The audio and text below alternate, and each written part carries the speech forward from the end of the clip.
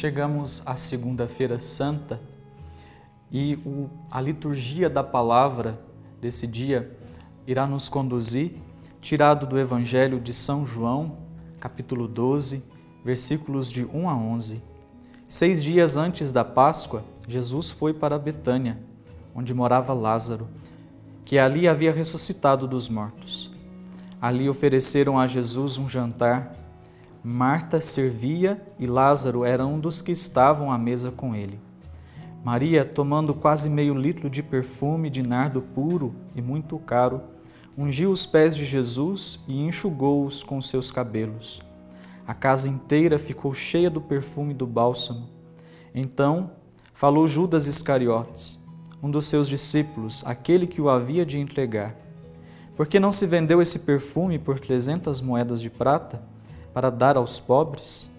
Judas falou assim não porque se preocupasse com os pobres, mas porque era ladrão.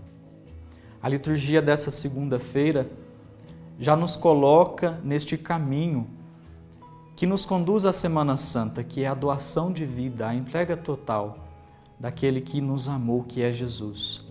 Jesus é ungido dos pés à cabeça com óleo que nos lembra também da nossa unção, nós que também fomos ungidos e por isso também somos convidados a caminhar com Jesus nessa Semana Santa.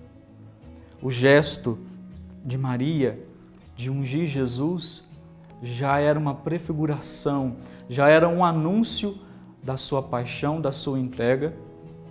E Maria faz isso justamente como uma demonstração do seu amor, do seu amor por Jesus.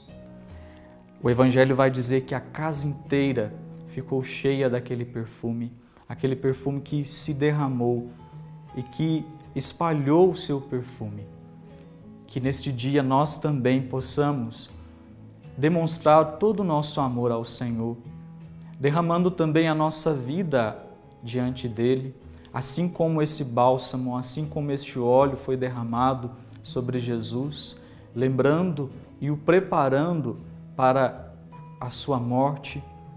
Então, Maria nos recorda da nossa unção no derramamento deste óleo. Quero convidar você para acompanhar o próximo vídeo onde nós iremos falar sobre a Terça-feira Santa.